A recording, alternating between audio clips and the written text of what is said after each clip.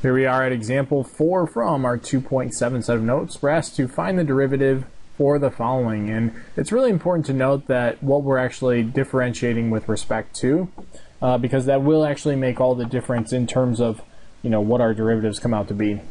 Now, for our first one, we see that we're taking the derivative of x with respect to x. And as a result, you would end up then with the derivative of x on top with respect to x and this will just simplify out to be 1. For 2, we see that we're taking the derivative of y with respect, though, not to x now, with respect to y. And pretty much it would behave exactly the same as 1 did. So we'd end up then with the derivative of y with respect to y, which again just comes out to be 1. Here, 3 is kind of that same scenario. The derivative of t with respect to t well, that's just dt over dt, which again just comes out to be 1. So it's essential, though, to really kind of you know look and see what are you actually taking the derivative with respect to. Now for our fourth one, we're taking the derivative of y with respect to x. Well, as a result, that would just come out to be dy over dx. For 5, we're taking the derivative of x squared with respect to x? Well, here is actually a chain rule kind of happening where this squared term would be considered your outsidemost piece and your x would be considered your innermost. So using kind of that chain rule, we would end up then with 2 rewriting the inside x times the derivative with respect to x of that inside piece x. And so this would simplify out to be 2x times d, the derivative of x with respect to x. So that would be dx over dx. But again, this is just 1. So you'd end up then with 2x times 1, which again is just 2x. For 6, we're taking the derivative of y squared with respect to x. Well, it's again pretty much a chain rule. Our outside most function would be that squared. Our inside piece would be this y. So we're going to treat this just like a chain rule. In that event, we would end up then with 2, rewriting the inside, y. We've already subtracted 1 from that exponent, so that's fine.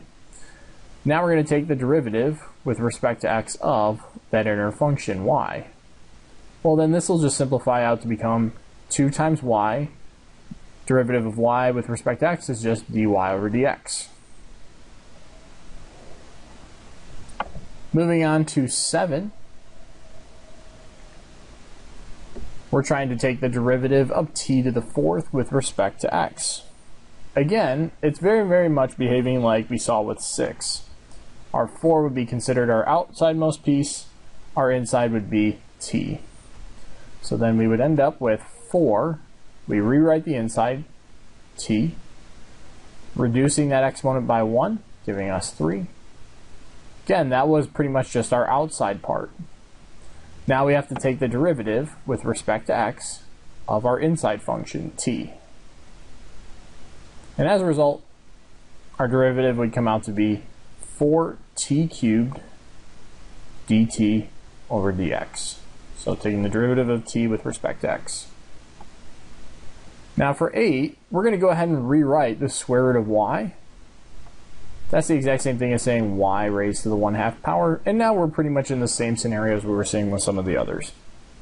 This 1 half would be considered your outsidemost part, y would be considered your innermost function. And as a result, we would end up then with 1 half, we rewrite the inside function y, subtract 1 from that exponent, so now it's negative 1 half, and then we have to take the derivative with respect to x of that inside function y. So pretty much just a chain rule happening here. Simplifying this, we would end up then with 1 over 2. We can bring this y raised to the negative 1 half power down to the bottom, making it now a positive 1 half power. And then taking the derivative of y with respect to x, that would just be dy over dx. And then we can go ahead and rewrite this as uh, dy over dx with this 2 out in front and our square root of y. You could rewrite it this way. I would probably more lean towards writing it as 1 over 2 times the square root of y dy over dx. Just because a lot of times you're actually trying to solve for your dy dx. But you could see it in this form as well. Again, though, that is example 4 from our 2.7 set of notes.